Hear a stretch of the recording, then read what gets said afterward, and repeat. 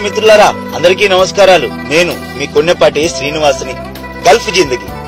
గల్ఫ్లో ఉన్నటువంటి తన స్నేహితులతో అందరూ ఏమని ఫీల్ అవుతూ ఉంటారంటే మా ఓడు గల్ఫ్లో ఉన్నాడు వాడికేం వెల్ సెటిల్డ్ కాలు మీద కాలు వేసుకుని ఏసీ రూమ్లో దర్జగా బతుకుతున్నాడని ఒక ఊహల లోకంలో ఉంటారు. ఒక గల్ఫ్ జిందగీ గురించి ఓ గల్ఫ్ కార్మికుడు పడినటువంటి తన విధవ వేదనను తను తన టైం లైన్లో షేర్ చేసుకున్నాడు. ఆ విషయాన్ని మీ అందరికీ వివరించే ప్రయత్నం చేస్తున్నాను మిత్రులారా. ఓ గల్ఫ్ కార్మికుడి జిందగీ అంటూ నా గురించే మాట్లాడతా ఈరోజు వినండి. నాకు నెలకి ఒక వెయ్యి రెండు వందల గ్రహామ్స్ room plus food free. Food hotel food. నేను ఉండే ఏరియాలో వంట అలో లేదంట. హోటల్ ఫుడ్ ఎలా ఉంటదో మా కం- కంపెనీ ఫుడ్ తినే అన్నలకి బాగా తెలుసు. గల్ఫ్లో సాధారణంగా శుక్రవారం రోజు అందరికీ బంద్. కానీ నా పని అందరికీ బంద్ ఉన్న రోజు ఫుల్ పనిగా ఉంటుంది. సరే నేను ఇంటి నుంచి వచ్చేటప్పుడు ఓన్లీ టికెట్ పైనే వచ్చిన. ఫ్రీ వీజా ఓన్లీ టికెట్ అని అన్నారు వాళ్ళంతా.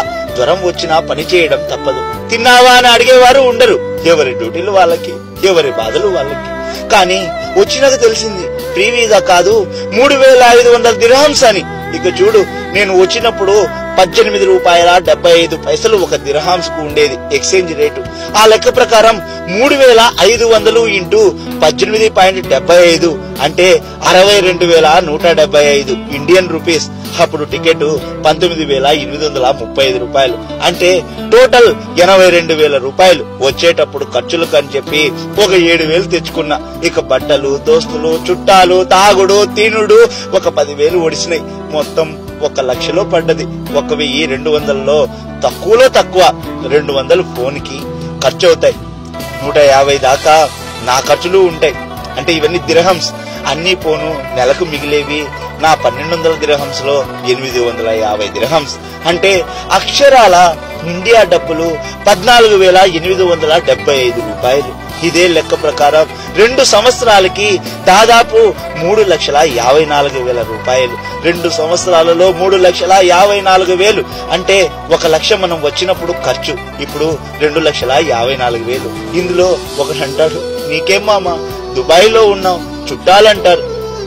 నాకు అది పంపి ఇది పంపి అని. అందరూ అడిగేటోళ్ళే కానీ ఒక్కడు కూడా ఎలా ఉన్నావురా? ఎలా నడుస్తుంది? డ్యూటీ అని అడిగితో తోడే లేడు.